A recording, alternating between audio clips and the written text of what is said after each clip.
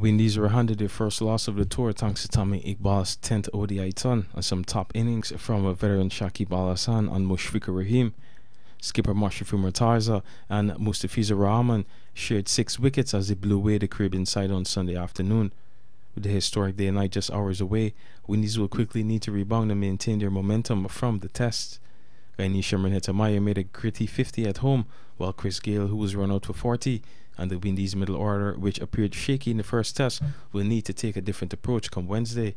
Skipper Jason Holder, following the loss on Sunday, blamed the poor feeling among other areas as contributing factors to the loss, but anticipated a good comeback as the series progresses.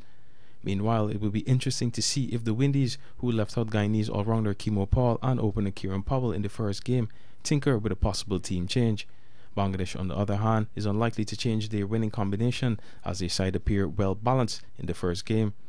Game 2 will bowl off from 14 hours 30 on Wednesday, July 25th. Reporting for the Evening News Sport, Clifton Ross.